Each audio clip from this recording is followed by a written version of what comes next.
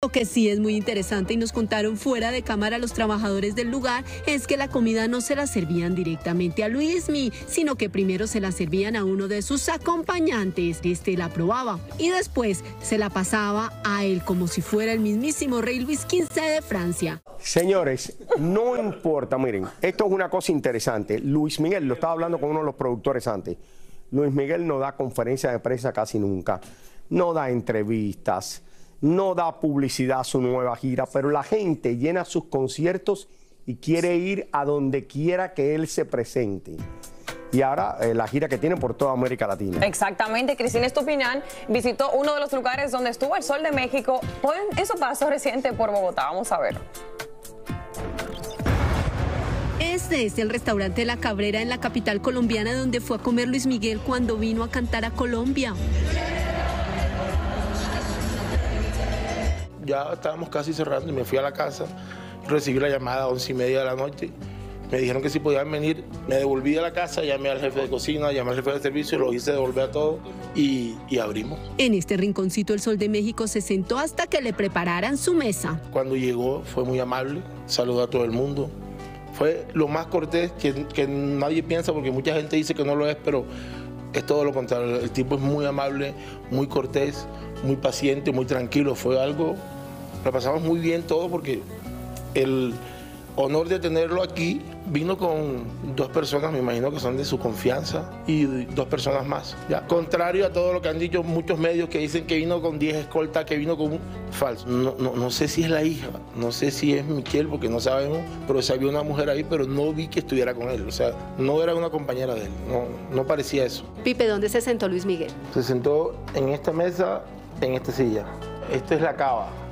Este es un, sitio como más reservado y aquí fue donde se sentó Luis Miguel. Él trae su propia música. Viene con un parlantico y él por donde va con su música. Por supuesto teníamos que saber qué fue lo que comió el Sol de México. Cuando llegó Luis Miguel, pues lo recibimos con lo primero que es el pan, despectivos calienticos. Él comió chorizo argentino. Tenemos nuestros cortes principales que es el ojo de beef la entraña americana. También comió ensalada de rúgula con queso parmesano. Esos fueron como los, los, los, tres toppings.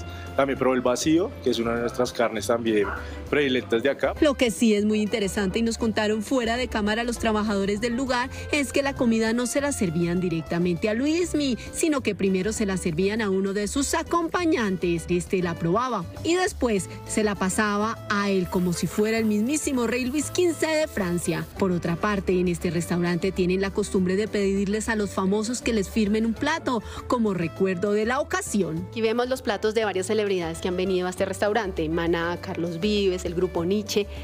¿Él en qué momento decide firmar su plato? Bueno, ese es otro tema que yo voy a aclarar.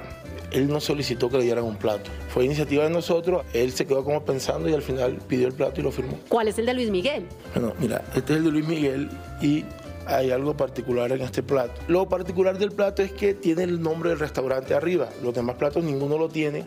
Y también lo hice porque dije, bueno, dice la cabrera, yo desde que le dije del plato pensé en que el plato fuera visible y al decir el nombre del restaurante, pues iban a saber que en realidad vino acá. Sí, porque lo que vemos en este plato es la firma de Luis Miguel. Sí, es la firma. Corroboramos que sí es la firma.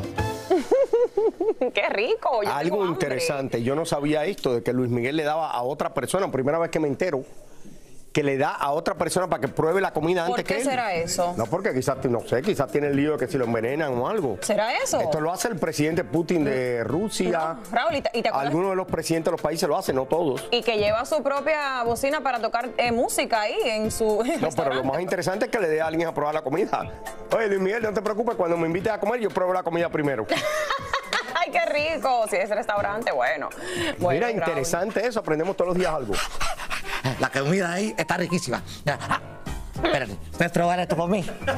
Aseguro, aseguro que no te... ¿Está bueno? Está bueno. Te lo dije que Tiene buen visto. Oye, pero qué curiosidades. Lleva su propio parlante, prueban la comida primero que la pruebe. De verdad que él es súper especial.